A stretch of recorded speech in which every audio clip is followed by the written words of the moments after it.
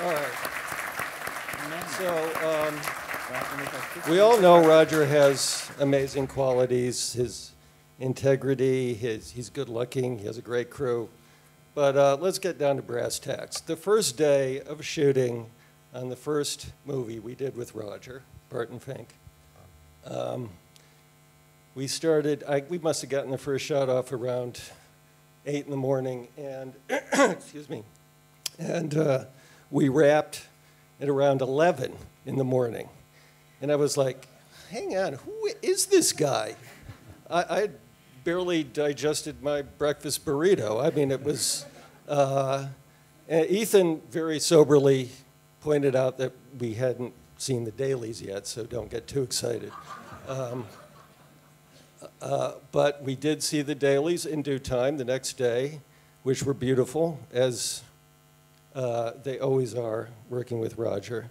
Um, the days have gotten longer, I have to say, um, but the dailies have stayed the same, and uh, we've had decades of uh, most amazing collaboration with him, and I, I fully believe what Agnieszka said, our movies would not be uh, what they are, whatever they are, um, uh, if it hadn't been, if it wasn't for Roger. So thank you, Roger.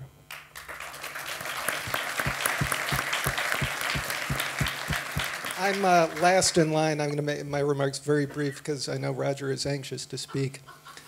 Um, I, I, also remembering Barton Fink, uh, the scene we did. We, we were doing a love scene between the John Turturro character and the Judy Davis character. And we were trying to figure out how to cover it, and we agreed that we should cover it by panning off of the two of them and doing a completely unmotivated track away from them into a bathroom and up into a sink and then down through the plug hole of the sink. And um, first of all, all you uh, DPs in the audience know how hard it is to get an Arriflex camera through the plug hole of a sink. but my point is not the narrow technical point, it's that Roger agreed that was the right thing to do. And uh, even Joel and I don't know why that was the right thing to do. And also, actually, you know, in the, in the 10 movies, I think it's 10 that we've done since then, whenever there's a, whenever we're in a kitchen or a bathroom, Roger, when we're talking about how to cover the scene, Roger invariably suggests that we cover it by panning over and tracking up to the sink and through the plug hole. Except on True Grit, where we didn't have any kitchens or. But the broader point is, Roger somehow understands all of that, even when it doesn't make sense and serves all of that even when it doesn't make sense. And that's a remarkable thing. So thank you.